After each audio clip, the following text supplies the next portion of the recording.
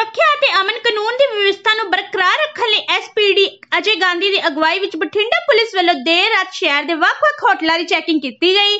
ਇਸ ਸਮੇਂ ਵੱਡੀ ਗਿਣਤੀ ਵਿੱਚ ਪਹੁੰਚੇ ਪੁਲਿਸ ਮੁਲਾਜ਼ਮਾਂ ਵੱਲੋਂ ਹੋਟਲਾਂ ਦਾ ਰਿਕਾਰਡ ਚੈੱਕ ਕੀਤਾ ਗਿਆ ਅਤੇ ਹਦਾਇਤ ਕੀਤੀ ਗਈ ਕਿ ਜੇਕਰ ਕੋਈ ਵੀ ਸ਼ੱਕੀ ਵਿਅਕਤੀ ਨਜ਼ਰ ਆਏ ਤਾਂ ਤੁਰੰਤ ਪੁਲਿਸ ਨੂੰ ਸੂਚਿਤ ਕੀਤਾ ਜਾਵੇ ਅਤੇ ਦੇਰ ਰਾਤ ਤੱਕ ਆਪਣੇ ਢਾਬੇ ਖੁੱਲੇ ਰੱਖਣ ਲਈ ਢਾਬਾ ਮਾਲਕਾਂ ਬਾਰੇ ਜਾਣਕਾਰੀ ਇਕੱਠੀ ਕੀਤੀ ਗਈ ਅਤੇ ਉਹਨਾਂ ਨੇ ਢਾਬੇ ਨੂੰ ਦੇਰ ਰਾਤ ਤੱਕ ਖੁੱਲਾ ਰੱਖਣ ਦੀ ਹਦਾਇਤ ਕੀਤੀ ਗਈ। ਤਾਂ ਉਹਨਾਂ ਖਿਲਾਫ ਸਖਤ ਕਾਰਵਾਈ ਕੀਤੀ ਜਾਵੇਗੀ ਕਿ 15 ਅਗਸਤ ਤੱਕ ਬਠਿੰਡਾ ਪੁਲਿਸ ਹਰ ਚੀਜ਼ ਤੇ ਨਜ਼ਰ ਰੱਖ ਰਹੀ ਹੈ ਅਤੇ ਸ਼ਹਿਰ 'ਚ ਵੱਖ-ਵੱਖ ਥਾਵਾਂ ਤੇ ਨਾਕੇਬੰਦੀ ਕਰਕੇ ਵਾਹਨਾਂ ਦੀ ਚੈਕਿੰਗ ਕੀਤੀ ਜਾ ਰਹੀ ਹੈ।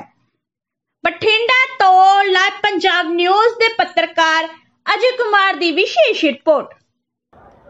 ਅੱਜ ਬਠਿੰਡਾ ਪੁਲਿਸ ਵੱਲੋਂ ਨਾਈਟ ਡੋਮੀਨੇਸ਼ਨ ਐਕਸਰਸਾਈਜ਼ ਦੇ ਦੌਰਾਨ ਹੋਟਲਸ, ਢਾਬੇ ਤੇ ਹੋਰ ਪਬਲਿਕ ਪਲੇਸਿਸ ਦੀ ਚੈਕਿੰਗ ਕੀਤੀ ਜਾ ਰਹੀ ਹੈ।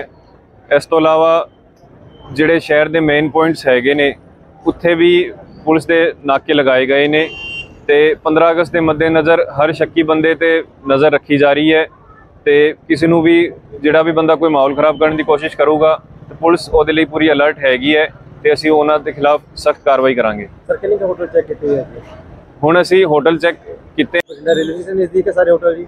Bathinda railway station bus stand ਤੇ ਹੋਰ ਵੀ ਜਿਹੜੇ ਹੋਟਲ ਇੱਥੇ ਬਣੇ ਹੋਏ ਨੇ ਉਹ ਸਾਰੇ ਹੋਟਲ ਚੈੱਕ ਕਰਨ ਦੇ